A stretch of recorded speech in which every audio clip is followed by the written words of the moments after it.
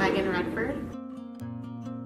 I'm the academic manager for children's programmings at MCFI.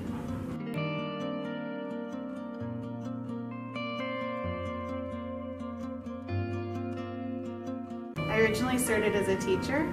Um, I moved here from Illinois just after graduating. I had some friends in the area, was looking for teaching positions and was immediately impressed with um, the inclusive environment at the school that I taught at um, and their ability to create um, strong learning environments for students with and without disabilities.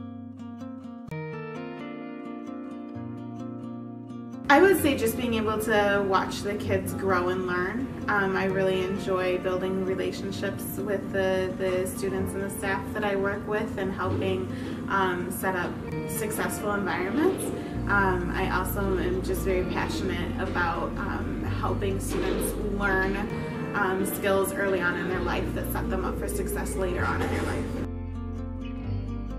I've always wanted to be a teacher. It's a very natural path for me. Um, I have always loved working with kids. I was a babysitter, helped out at the church when I was younger. Um, and then just as I got older, realized I had more of a passion for working with um, younger students, so specifically kids um, who are birth through age eight. Heard the nominations for the first time at a, more of a public setting, um, and so I think my initial reaction was to try not to cry.